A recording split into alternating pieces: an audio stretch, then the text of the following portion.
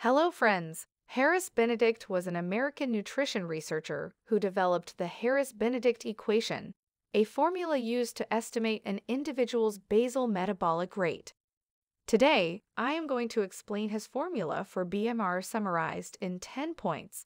1. The Harris Benedict equation is a widely used formula for estimating an individual's basal metabolic rate, BMR, which is the amount of energy their body needs to function at rest. 2. The equation takes into account an individual's weight, height, age, and sex to determine their BMR. It is based on the principle that the more mass a body has, the more energy it needs to maintain itself.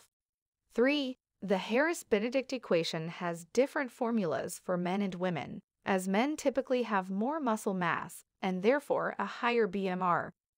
4. Once an individual's BMR is calculated using the Harris Benedict equation, their total daily energy expenditure, TDEE, can be estimated by factoring in their level of physical activity. The total daily energy expenditure, or TDEE, is an estimate of the total number of calories an individual burns in a day, including calories burned during physical activity. 6.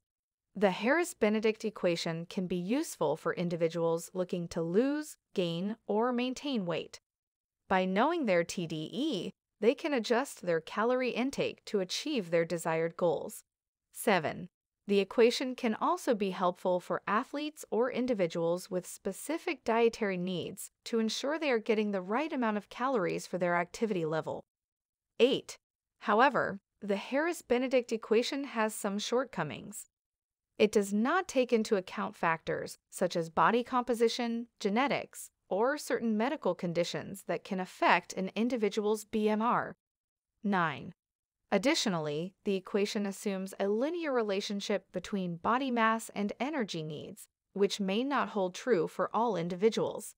10. Despite its limitations, the Harris Benedict equation remains a popular and useful tool for estimating an individual's BMR and TDEE, especially for those without access to more advanced testing methods.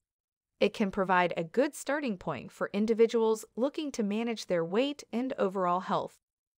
We have developed an online calculator based on Harris Benedict formula on our website htmlcalculator.com. Link is given below. If you like the video, please subscribe our channel